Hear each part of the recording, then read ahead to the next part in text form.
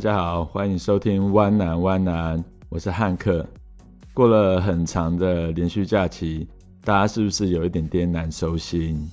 我自己以前其实就超怕这种连续假期的，心超级难收。我通常礼拜一、礼拜二整个都晃神，然后礼拜三大概是开完会后，才忽然回神说：“哦，该来打电话找客户预约时间拜访了。”所以礼拜一我偷懒，我没有更新，就一堆网友私讯 IG 说：“哎，你不是礼拜一更新跟礼拜四更新吗？敲碗敲碗，是不是偷懒工 偷懒没工作？”好了，我认真要开始录音工作了。那大家工作也加油，二零二零已经进入七月了，大家加油喽！那我们今天的主题就是锦鲤祝福杨超越。我实在是 真的没有想到说我会拿杨超越作为题目耶。其实我自己从二零一六年开始啊，我就会看那些男团啊、女团的选秀节目，包含韩国的 Produce One O One。然后到后来的 Produce Forty Eight，然后中国有创造一零一，以及就是今年刚结束的青春有你二。看青春有你二原因是因为我很爱 Lisa，对，然后当然我有看了台湾的弟弟五二。这些节目啊，基本上出来的偶像团体，它会是有一种限定期间限定的概念，就是时间到后他们就会解散。那解散后呢，各个艺人就会回到原本他属于他自己的。经纪公司里面，所以时间一到后啊，他们就会各自拉回自己的经纪公司去赚钱。那这些类型的节目出来的艺人，在我自己的概念里面啊，都是属于夹娃娃机型的偶像，就是他的新鲜感随着他夹出来到了洞口掉出来后，他的新鲜感就慢慢消失了，他的热度就随着选秀节目结束后，也会慢慢慢慢慢慢开始走下坡。但是你一定想说，哎，我。我今天讨论这个干嘛？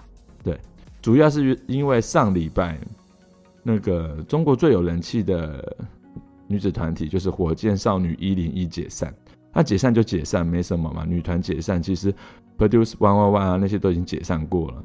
那因为这本来就是期间限定的团体，对。但其实火箭少女里面有一个人是让我感到非常非常讶异的神奇人物，对，那那一位就是叫做。杨超越，一个不会跳舞，而且唱歌会走音，然后什么都不会，只会一直哭的艺人，我实在不懂他到底红在哪里。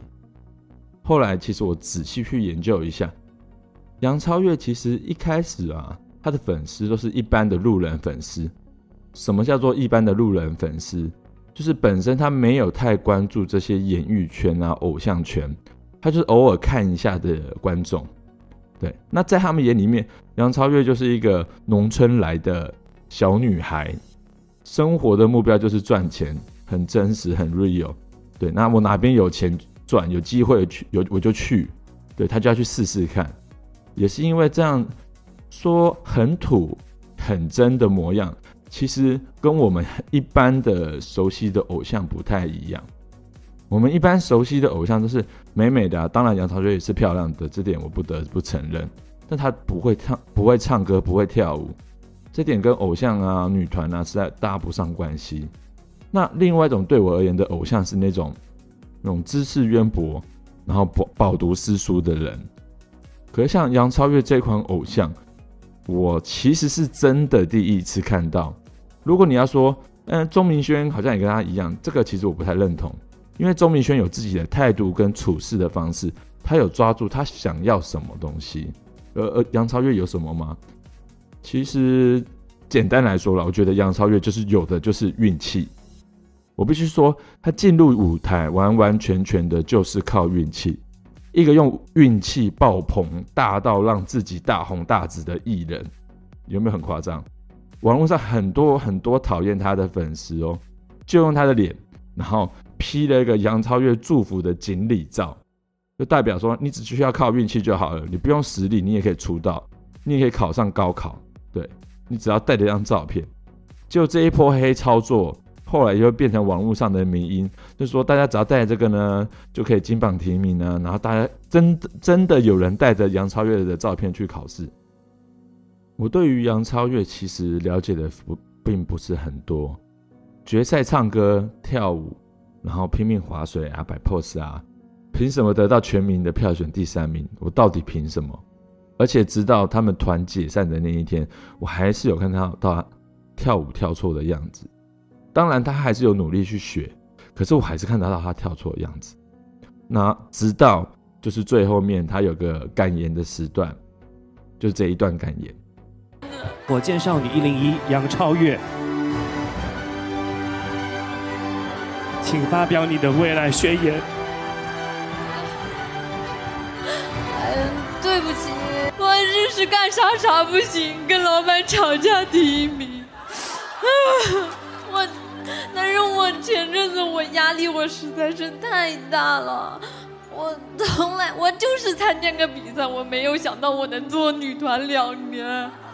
你不知道，就是那种大早上被姐妹拉起来，她告诉你要去跳舞，我说我不行的，但是杨超越你可以的，啊，然后，其实我这两年我经历了很多的争议啊，他们说杨超越怎么可能做女团，她跳成这样我都可以，我我想说真的我。我觉得我给你们做了一个很好的榜样。你们看，老天他不一定是爱聪明的人，他的万分之一也会宠幸到我们这些笨小孩子。所以不要放弃平庸和笨的自己，说不定老天就是喜欢你，他就是让很多人都喜欢你，你就配拥有这些爱。但是这些爱太重了，我每天都要爬起来跳舞，我每天都好焦虑啊！我一跳错了就骂我，但是我想说，我真的我练了好久了，我一上就做，我也是不知道为什么的，啊，我气死了！我两年了，我终于毕业了，我以后。就没办法跳舞给你们看了，我真的是我跳不好，我也没有十个姐妹给我打掩护了，我一跳不好就看得太明显了，啊，然后我，哎呦我的天呐，哭成这样，哎呦火箭少女一零杨超越再见，我现在是杨超越，我来这座之下，哦哦哦，我。